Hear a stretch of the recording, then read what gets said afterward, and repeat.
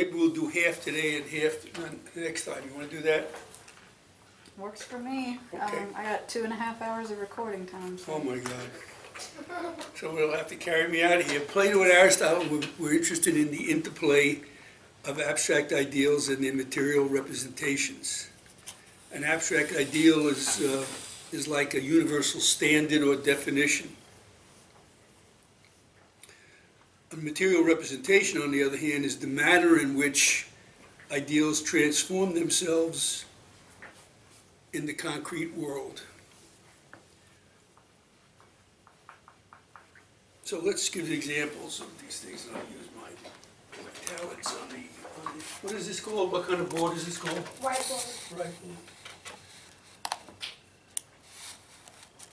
Is there a So here's, here's, uh, we'll use uh, the example of a square. And we'll talk about the abstract ideal of a square.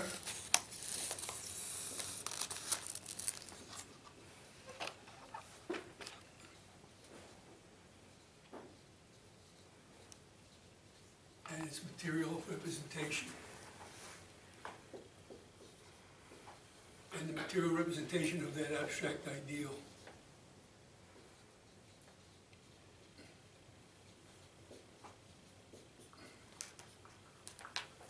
Okay, so an abstract ideal is like a, uh, a definition or a standard. So how, what would be a good uh, definition of a square?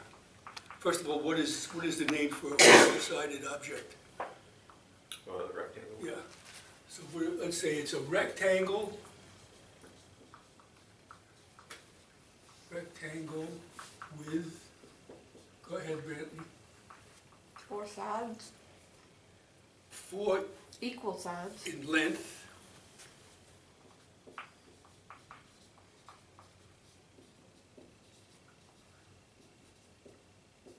And, go ahead, four equal what?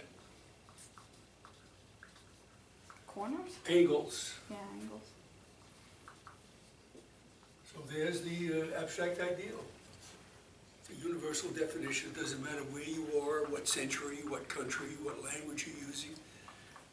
This is the ideal of a square. Okay? And the material representation, the way this ideal is transformed into the concrete world is this. There you are. And according to Plato and Aristotle, reality is made up, if, if everything within this circle represents reality,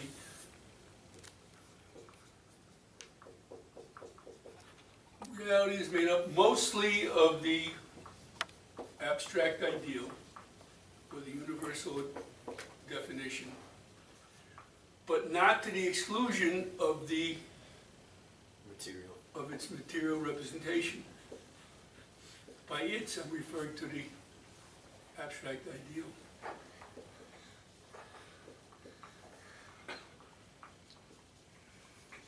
So what, the the numbers we used was like 60-40. Plato and Aristotle don't talk in those terms, but that's the, one. remember?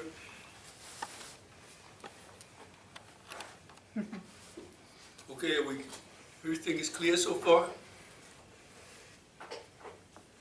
So far.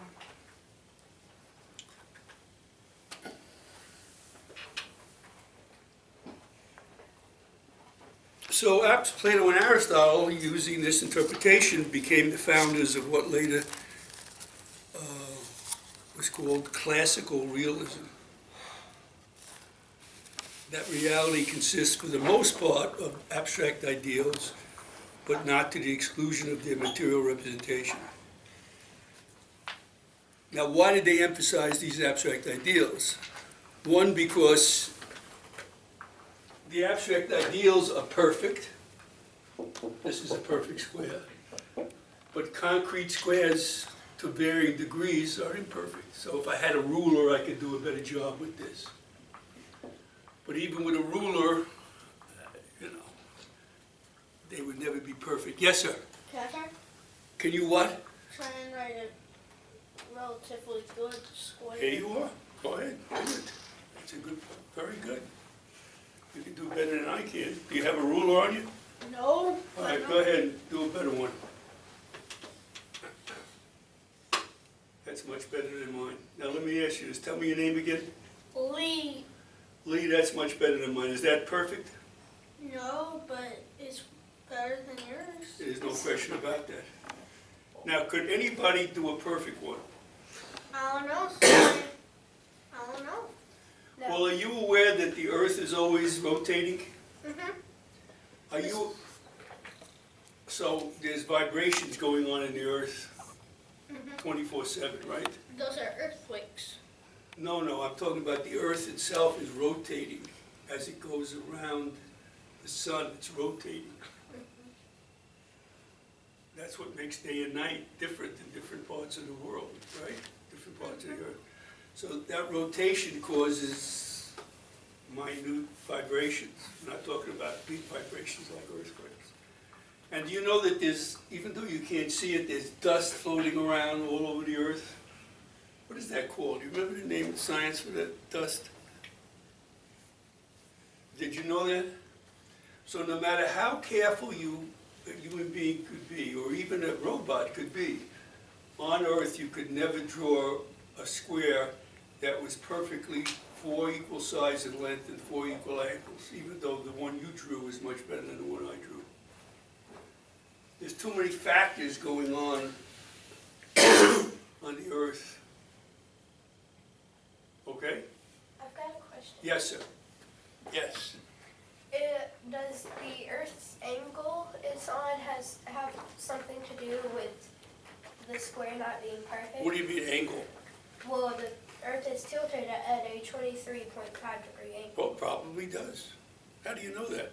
because I studied it in science. Tilted into what direction?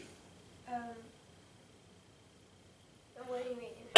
Well, I mean, that's, I mean exactly that. I didn't know, what- uh, I learned something today. So what direction is it tilted in? If it's tilted, it has to be tilted in one direction. For example, you're tilted to your uh, left now, when you were leaning against the uh, wall. Uh, so it's tilted to. I think it's tilted to the left. In other words, the teacher's saying that she forgot to tell you where it was tilted to? Well, in the diagram it was tilted to the left. Okay, so there you are. So that may be it. But for Plato and Aristotle, who lived in the third century BC, they emphasized these abstract ideals over the material representation because the definition is perfect.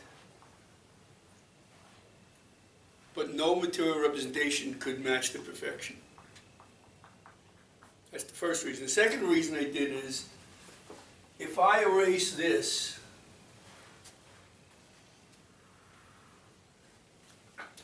I want to do it carefully, and I erase this,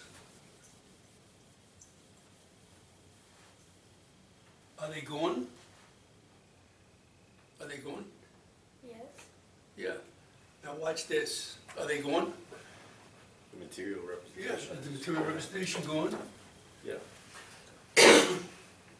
Because they came from one of these uh, pens on a board, by the material things. Now watch this. If I erase this, I'm gonna try to do it as carefully as I can so there's no residue. If I erase this, is this gone? No, Why? Even without the definition there, that's still square. I I The- what you- I didn't what you definition- said. The definition remains the same Where does it remain the same? in the stratosphere, the ideal. Well, in your imagination, Yeah. if you understand it. But So wait, so the two reasons why they, why classical realists emphasize the abstract ideals over the material representation, but they didn't ignore the material representation, is number one, the abstractions are perfect, while the material representations by definition cannot be.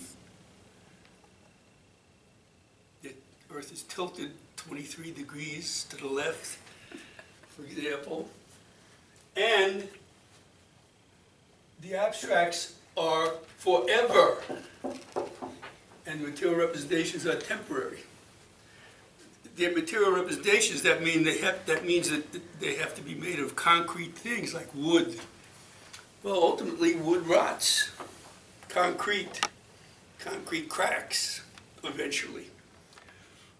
Made of sand, well, the tides destroy sand and move it around. Steel, I mean, the list can go on and on and on. All of those material things deteriorate in one way or another. Even uranium has a shelf life, isn't that true? How many thousands of years? I no. But I mean, you know that. Yeah. So the point is, that's one of the reasons why they, they fear nations that develop nuclear weapons, because they're always using ur- uranium and then discarding it. Where do you discard it? It's such a dangerous element. Doesn't go away for thousands and thousands of years. So they think maybe they could put it in a concrete container and put it hundreds of miles below the earth. Well, that concrete is gonna dis- deteriorate in some way. Then the uranium gets into the groundwater. I mean, the- you know, I mean, the point I'm trying to make is, is that, is that the- all material things have a shelf life. But abstract ideas, if, if they're defined properly, and you understand them, never disappear. Okay? So that's the classical realism. The definition of the brain too. No, you don't, you don't see that in the, brain. the brain is the center, what is the, what, what does the brain do? What does the brain do? Thinks. It, it's the center for all your sensory knowledge. So for example, when I touch this table, how do I know it's a table? Because of the way. Well, I mean, it goes through my fingers, the senses, sensory part of my fingers, and it goes where?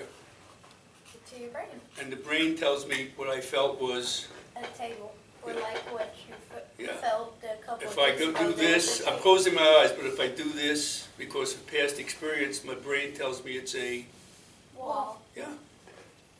So the brain actually is the connecting point from all your sensory experience, sensory experiences, which is material. You understand? Yes. But the mind is something else. The mind and brain are not the same things. The, the mind is the sense is the center of not your sensory experiences, but your imagination. So when I erased that definition of a square, I erased what you could see with your brain, but I didn't erase what you could see with your imagination because there's different centers in your being for those two different experiences. So what you're saying when you talk about abstract ideals is, I imagine a square to be this. And then another person says, I imagine a square, no, to be that. And the third person, and then somewhere, as a result of dialogue over, what, a year, a hundred years, a thousand years, people come up with what they think is the universal ideal or definition or form of a square. And if it's correct, everyone can understand it through their mind. It never goes away. First of all, it's perfect, and it never disappears from your imagination. So you're saying, back to when you were saying you can never make a perfect, Concrete or material square, yeah. um, so you're saying none of these picture frames up here are perfect?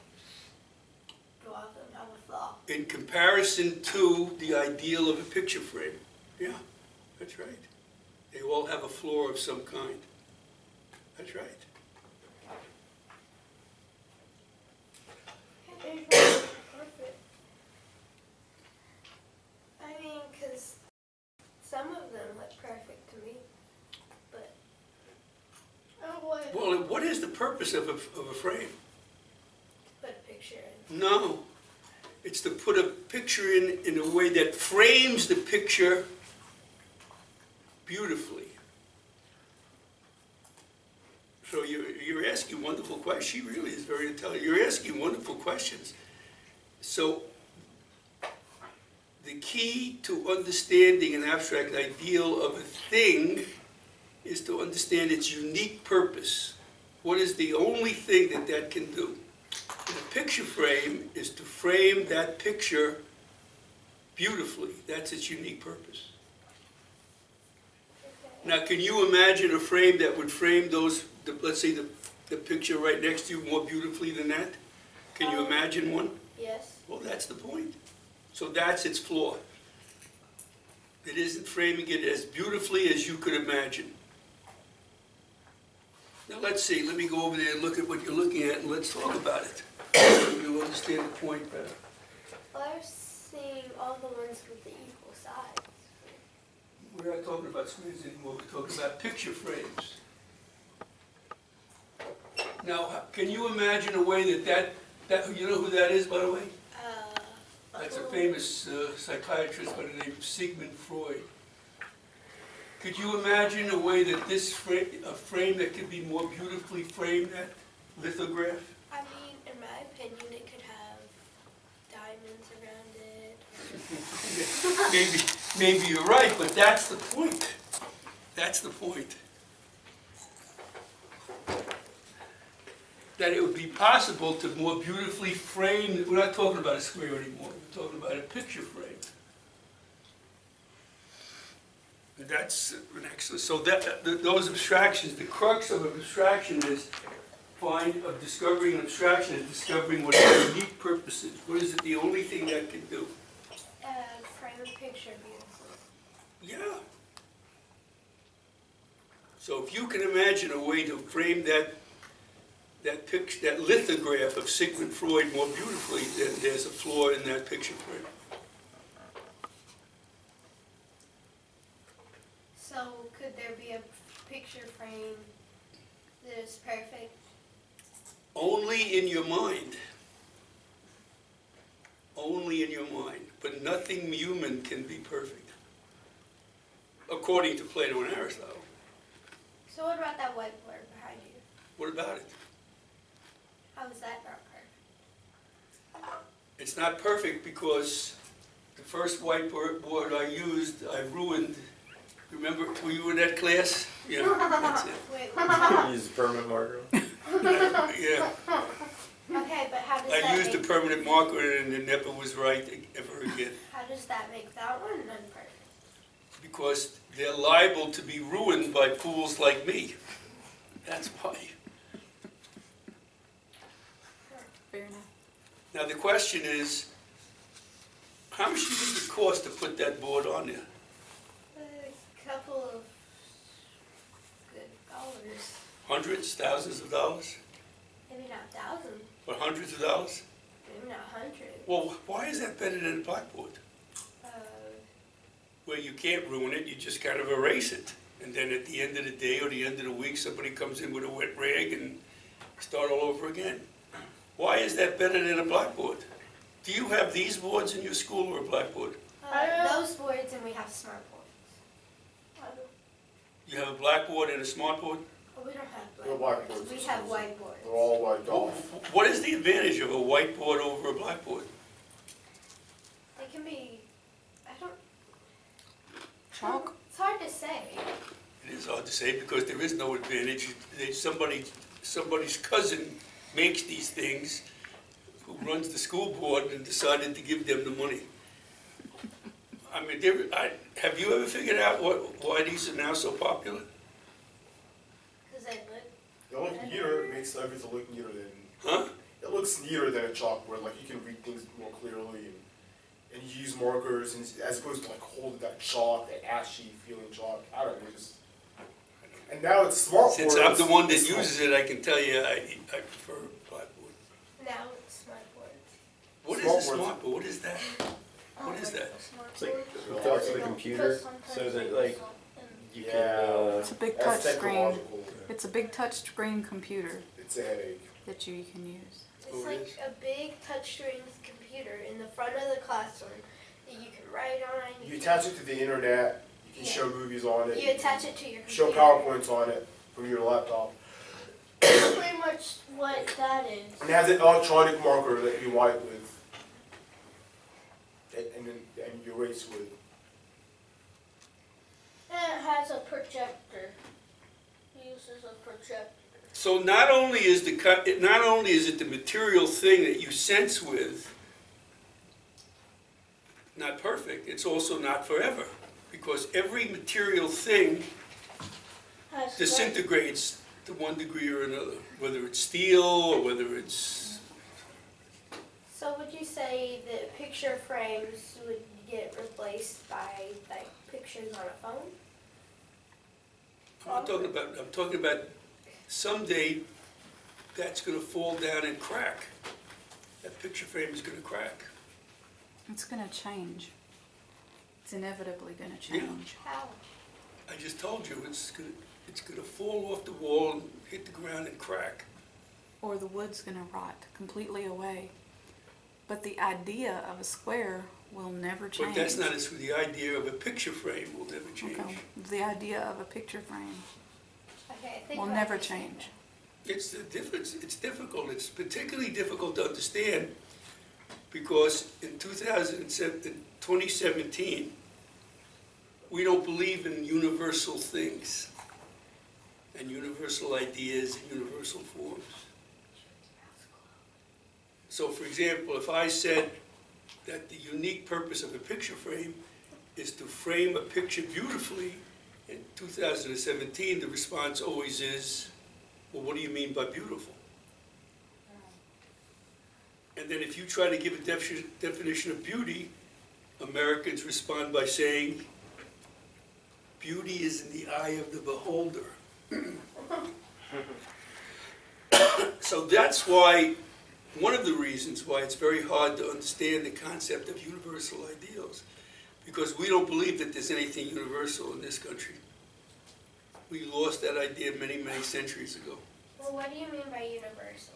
Always true, and Everybody always will- exists. Like everybody, like universal means everybody agrees that this is what's good. what's- No, it doesn't mean every, it means everyone who's rational agrees. Yeah. So, The ab- so like an absolutist for like that's an absolute definition of truth. and That's We don't believe in so absolutes, take, yeah. take this pencil for example.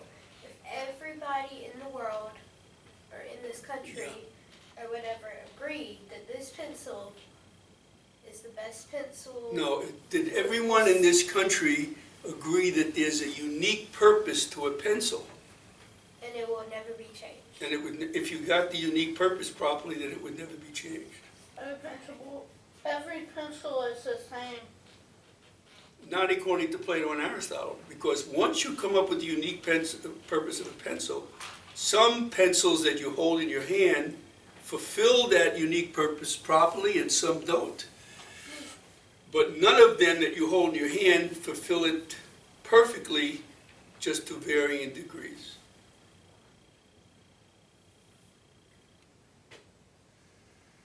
But again, we don't believe in universals, we don't believe in absolutes. We say we're what is known as a relativist. What about people? Aren't there, aren't they universal? Well, you're asking wonderful questions. I mean, uh, so if everything has a abstract form, then human beings have an abstract form too. Now watch this carefully. So in order to find out the abstract form of a human being, you have to determine what is it unique about a human being? What is it that only a human being can do? that no other living thing can do? The answer that Plato and Aristotle gave, and also that people like Abraham and Jesus gave, would be only human beings have free will. That is to say, only human beings, but the, what is the abstract ideal of a human being, what is the human being's unique purpose, is that only human beings can know the difference between right and wrong and then freely choose between one course of action or the other. So only human beings can choose what they want to do. No, choose, know the difference between right and wrong, and then choose between the right way, the morally right way and the morally wrong way. rationalize. Only they can rationalize. I don't know what you mean by rationalize. Like You're using from a the term, rational- you're using the term rational and rationalize are not the same words. Rational means I'm thinking of something and then I come to a rational conclusion. Rationalize means I've come to the conclusion without even thinking about it. That's what rationalize difference means. It's the opposite of rational. Rationalization and reasoning. Yeah, reason, okay, well, I guess maybe that's what I'm trying to say, the only words you can reason.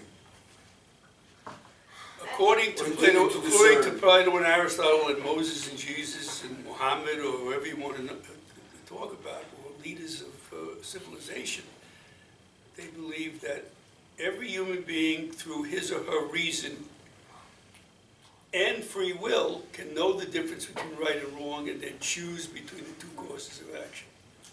So even when a human being chooses an immoral course of action, they're still a human being, because only a human being could choose to do the wrong thing. That still doesn't answer my question though. What was it? Are human beings or people um, universal? A physical human being, you're asking me whether a physical human being is universal? Is that what you're asking me? I, I mean, like, There's two things that are going on here. The idea of a human being and a physical person. Which are you referring to? a physical person. Well, you- you're, are they universal? I mean, people die. Well, then they're not universal.